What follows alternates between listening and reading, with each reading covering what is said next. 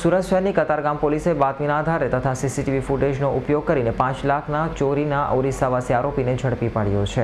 સુરત શહેર લઘુ ભારત છે, પરંતુ આ લઘુ ભારતમાં વિવિધ રાજ્યોમાંથી આવેલા ચોર અને ઠગો પણ પોતાનો કસબ અજમાવી જતા હોય છે.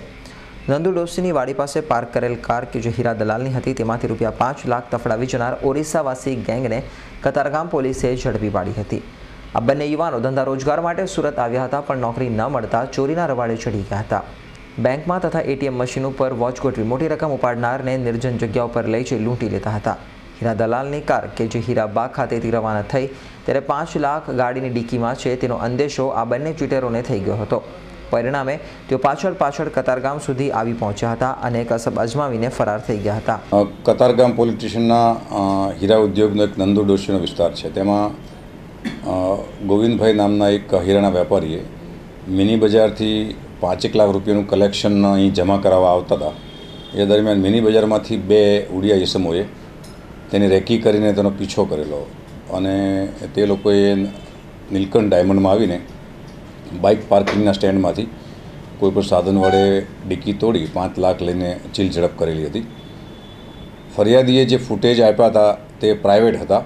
તેના આધારે અમે ટ્રેક પકડેલો પોલીસે અને સર્વેલન્સ સ્ટાફના હસમુખ ગઢવી અને તેની ટીમે સરકારી કેમેરાની મદદથી મિની બજારમાં જ્યાં બનાવ બન્યો હતો શરૂઆત, ત્યાંથી બાઇકના નંબર મેળવી. મૂળ માલિક કોણ હતું, બાઇક કયા ડોક્યુમેન્ટ પર મેળવેલું હતું અને કયા મકાનમાં આ લોકો રહ્યા હતા? તેના આધારે બંને આરોપીઓ પકડાઈ ગયા છે.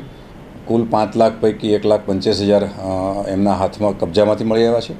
બાકીની રકમ માટેની કાર્યવાહી ચાલુ છે. આ બંને ઈસમો પ્રાથમિક પૂછપરછમાં એકાદ માસથી ઓરિસ્સાના વતની છે બંને. એકાદ માસથી અહીંયા મજૂરી અર્થે આવેલા છે. પણ ચાર પાંચ જગ્યાએ એમણે આવો પ્રયત્ન કર્યાનું પ્રથમ તબક્કામાં જણાય છે. ડિટેલ તેની અન્ય કામગીરી બાબતે રિમાન્ડ મેળવી આગળની તપાસ કરવામાં આવશે. આરોપીઓ અત્યારે એવું જણાવે છે કે એ લોકો બેંકમાં પણ વોચ કરતા હોય છે. પાંડેસરા અને સચિનમાં બે બેંકમાં એમણે વોચ કરે. જો કોઈ વ્યક્તિ એકલ દોકલ હોય અને મોટી રકમ વિડ્રો કરે તો તેનો પીછો કરવો. અને અવાવરું જગ્યા મળે, ત્યાં કોઈપણ રીતે અથવા વાહન પાર્ક કરે, તો તેમાંથી પૈસા ચીલઝડપ કરવી. અથવા પછી કોઈ બેંકની બહાર, એટીએમ સેન્ટર બહાર અથવા પેટ્રોલ પંપ પાસે કોઈ પૈસા આપવા નીચે ઉતરે અને જો એની કારમાં બાજુમાં સીટ પર કોઈ કિંમતી વસ્તુ પડી હોય, તો તે લઈને નાસી જવું. આ પ્રકારની એમો અત્યારે જાણે છે.